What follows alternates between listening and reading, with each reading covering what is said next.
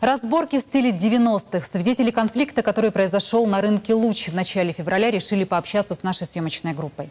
Они рассказали хронологию событий и также о причине вооруженной стычки. Мужчины, которые были на месте происшествия, не скрывали эмоций. Очевидцы вспоминали и межклановые разборки конца прошлого века.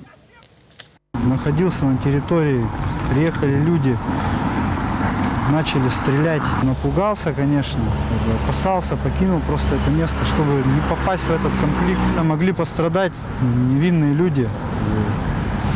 Это очень ненормально. Я считаю, что таких вещей не должно происходить. Почему мирно договориться не получается даже в 2021 году и среди бела дня в общественном месте звучат выстрелы? Об этом в репортаже Дениса Козлова завтра в вечернем выпуске новостей в 19.30. Не пропустите.